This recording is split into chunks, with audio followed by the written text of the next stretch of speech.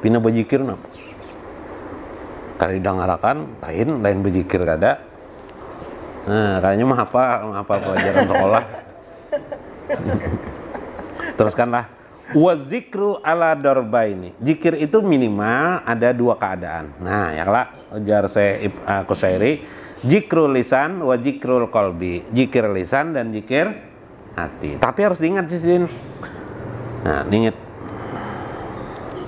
Fadzikru lisan bihi yusallul abdu ilal istida ilal istidamati zikril kolbi.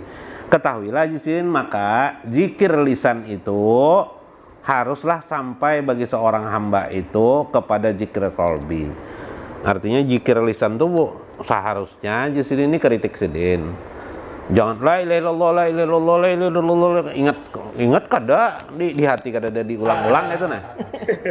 Nang bagus tuh jikir lisan tuh la ilaha illallah. Ini ada juga nang bejoget la ilaha illallah la ilaha unggut-unggutnya aja nang ingat. La ilaha illallahnya kada anu lagi gitu nah. Maksudnya jikir lisan tuh harus sampai ke ke hati. Nah jersidin lah. Wa ta'sirul qalbi bahkan membekas di dalam hati.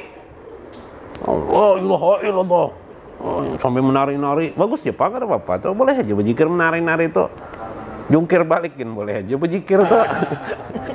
Hah? eh, eh sakar mana kada apa-apa. Cuma jangan sampai nah, ada juga nah, karena menuruti orang aja orang sakar diturutin ah. Kisah-kisah mabuk gimana? Sekalinya enggangannya jangan diturutinya. Nah ini loh maksudnya.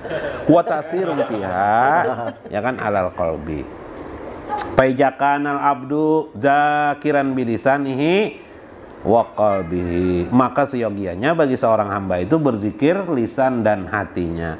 Pahwal kamil itulah sempurna maksud daripada zikir lisan dan kolbi tanpa harus mempersoalkan zikir lisan ataupun zikir hati lagi. Karena kedudukannya digawe dah.